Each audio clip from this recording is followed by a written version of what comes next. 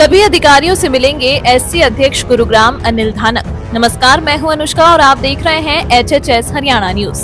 ताज़ा खबरों में आपसे बता दें कि तहसील फरूख नगर परिसर व थाना परिसर फरूख नगर में कांग्रेस के एससी जिला अध्यक्ष अनिल धानक ने एससी समाज के प्रमुख लोगों के साथ नायब तहसीलदार दिनेश कुमार व थाना प्रभारी सुरेंद्र कुमार से मुलाकात की, जिसमें उन्होंने तहसीलदार व थाना प्रभारी सुरेंद्र कुमार से अपील करते हुए कहा कि हमारे समाज के जो रूटीन के काम होते हैं, उनको जातिवाद को न देखकर उनका भी जो सब लोग आम जनता के जिस तरीके से काम होते हैं, उसी तरीके से उनको भी रूटीन मिल लिया जाए। उन्होंने कहा कि हम तहसीलदार व प्रशासनिक अधिकारी को यही संदेश देने आए थे, जो हमारे एस सी समाज के लोग हैं। हमारे समाज के किसी भी व्यक्ति से किसी प्रकार का कोई जातिवाद या भेदभाव नहीं किया जाए। इस दौरान तहसीलदार व थाना प्रभारी सुरेंद्र कुमार ने अनिल धानक व उनके साथ आए हुए सभी को विश्वास दिलाया की यहाँ सभी एक समान है।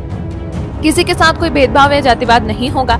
इस दौरान उनके साथ आए हुए गणमान्य लोगों ने तहसीलदार फरूख नगर, दिनेश आहूजा व थाना प्रभारी सुरेंद्र कुमार का पुष्प गुच्छ बाबा साहेब अंबेडकर की प्रतिमा व मिठाई खिलाकर आभार व्यक्त किया। इस दौरान अनिल धानक ने कहा कि हम क्षेत्र के सभी अधिकारियों से मुलाकात करेंगे और उन्हें बाबा साहेब की प्रतिमा भेंट करेंगे, क्योंकि बाबा साहेब का नारा है। शिक्षित बनो, संगठित हो और संघर्ष करो। हम उन्हीं के निर्देश का पालन करेंगे।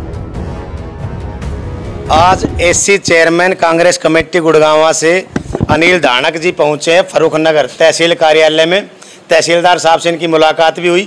किस विषय में इन्होंने तहसीलदार साहब से मुलाकात की? इनसे बातचीत करेंगे। नमस्कार सर। नमस्कार जी सर आज किस विषय में तहसीलदार साहब से मिलना हुआ? ये हम अपने समाज के लिए ऐसी समाज जो है उसको एक अभियान चलाया हमने जागरूकता अभियान। जितने भी यहाँ पे पद अधिकारी हैं गुड़गांव ज़िले में जी। उनसे हम सबसे रूटीन में मिलेंगे जी। कि जो हमारे समाज के जो रूटीन के काम होते हैं उनको जातिवाद को ना देख के उनको भी जो सब लोग आम जनता जिस तरीके से काम होते हैं उसी तरीके से उनको भी रूटीन में लिया जाए। ये हम इनको संदेश देने आए थे। बाबा साहब ने शिक्षित का नारा जो लगाया था कि भी शिक्षित बनना है हमने। तो वो शिक्षित बनेंगे हम आगे बढ़ेंगे समाज को मैं समाज को मैसेज देंगे कि भी हमारे जितने भी अफसर हैं ये सब हमारे समाज का साथ दे रहे हैं। और आगे बढ़ने के लिए हम हर तरीके से जो भी तैयारियाँ होती हैं, वो तैयारियाँ पूरी कर रहे हैं हम कि अपने समाज को आगे बढ़ाने में किस तरीके का सहयोग अफसरों का लिया जाए, पुलिस का लिया जाए, कहीं भी हमारे हमारे समाज को जाति मतभेद ना हो, हमारे साथ। तो पूरे हरियाणा में मुहिम चलेगी सर? नहीं मैं मेरे को कांग्रेस पार्टी ने जिला अध्यक्ष गुड़गांव का पद दिया है।